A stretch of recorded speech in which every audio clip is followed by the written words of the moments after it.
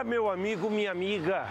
Nós estamos conversando sobre ecologia urbana, a ecologia na cidade. E uma das coisas que são importantes é o plantio e o cuidado das árvores que a gente tem nas calçadas. Você já deve ter percebido quando há tempestades muito fortes que várias árvores caem. Por quê? Em primeiro lugar, porque às vezes a prefeitura limita demais a área das árvores e quando elas vão crescendo, as raízes não têm como expandir e com a ventania muito forte elas caem. A outra questão é que as árvores na cidade precisam ser cuidadas.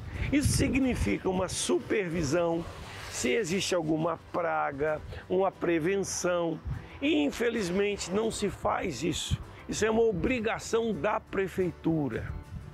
E depois, cada um de nós pode cuidar da árvore que está perto da sua casa. Essa tarefa você pode fazer. Como se cuida da árvore que está perto da sua casa? Observe a qualidade das folhas, se tem alguma praga que você pode tirar ou pedir à Secretaria do Meio Ambiente da sua prefeitura para fazer isso. E olha que bonito, gente. Esse aqui é um pé de romã. Alguém que mora aqui deve ter plantado esse pé de romã. Então você tem aqui uma árvore frutífera que ajuda os pássaros, porque é alimento para os pássaros.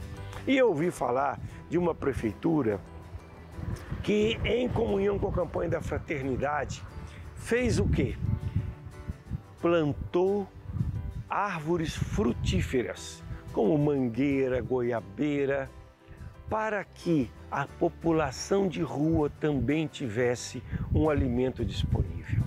Então, meu amigo, minha amiga, veja como é simples a gente colaborar na ecologia urbana. E uma, uma iniciativa importante é plantar árvores nativas principalmente, cultivar e cuidar.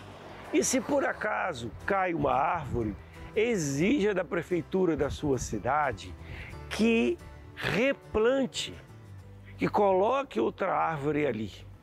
Porque as árvores na cidade são nossas amigas também. Você já percebeu que quando há um calor danado e você está caminhando na rua, tem uma árvore, a sombra dela é maravilhosa.